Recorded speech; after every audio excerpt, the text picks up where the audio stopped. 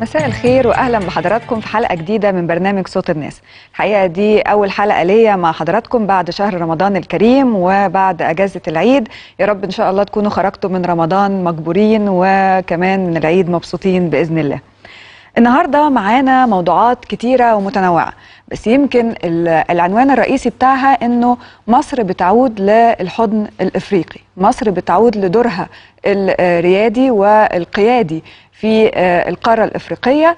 مصر هي رئيسة الاتحاد الإفريقي في 2019 مصر بتستضيف أهم حدث رياضي. إن شاء الله كمان أسبوع وهي بطولة الأمم الأفريقية.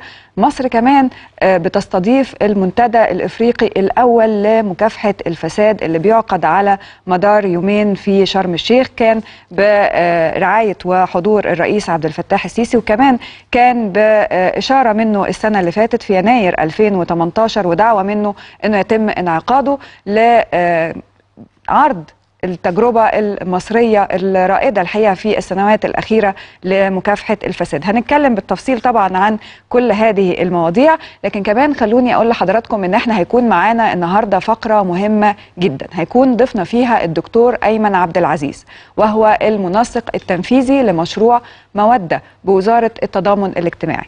إيه مشروع مودة من الكلمة؟ إحنا بنتكلم دايما عن الرحمة والمودة. الكلمتين دول بيكونوا متسقين في إطار الأسرة والحياة الزوجية والأسرية بيكون أهم شروطها هي الرحمة والمودة. عشان كده دي مبادرة رائدة باعتبارها مشروع يهدف لحماية الأسرة المصرية حمايتها من مخاطر الطلاق. وطبعا حضراتكم عارفين النسب المتزايدة من هذا الموضوع من الطلاق بيكون بيهدد الأسر المصرية وطبعا بيعود بصورة سلبية على الأطفال اللي في النهاية بيخرجوا في المجتمع بمشاكل كتير. علشان كده إحنا هنتكلم عن الموضوع ده بالتفصيل إزاي مشروع موده نقدر نستفيد منه إزاي نقدر نتفاعل معاه إيه دوره على أرض الواقع المبادرة دي وصلت لإيه إيه أهم إنجازاتها في مصر خلال الفترة اللي فاتت والفترة اللي جاية كمان.